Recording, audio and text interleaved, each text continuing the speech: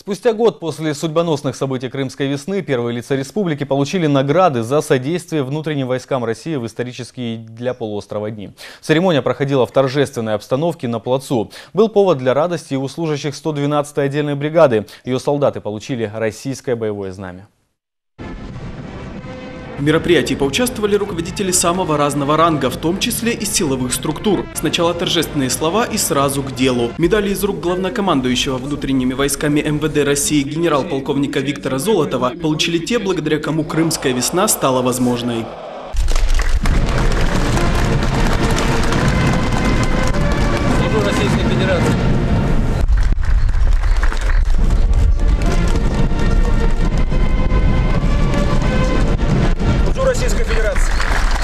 Отметив персональный вклад крымских руководителей, продолжили командными награждениями. Российское боевое знамя получили служащие 112-й отдельной бригады внутренних войск МВД России в Крыму. Бойцы этого подразделения сыграли важную роль в событиях Крымской весны. В тяжелый момент они не дрогнули и продолжали отстаивать интересы крымчан.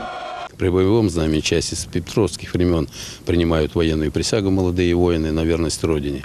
А что касается сегодняшнего дня, то эта бригада э, проявила себя в прошлом году, проявила себя очень правильно, была верна э, народу Крыма и традициям России.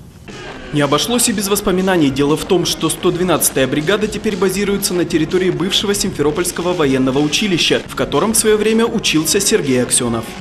Вот моя казарма, второй этаж. Да, четыре года, 1989-93 выпустился. Ну, последний выпуск был.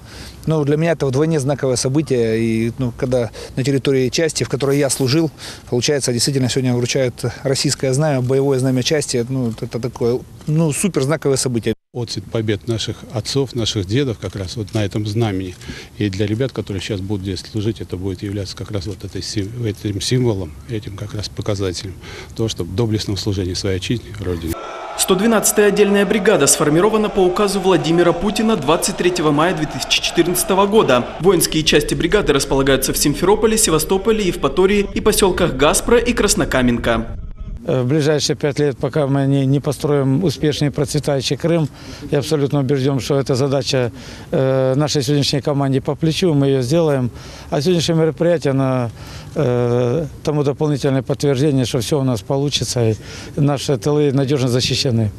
Новое боевое знамя осветили по всем воинским традициям, и теперь оно займет подобающее место в штабе подразделения.